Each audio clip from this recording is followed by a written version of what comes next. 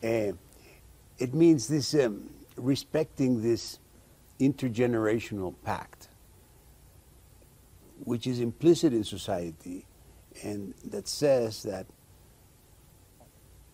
your children should be better off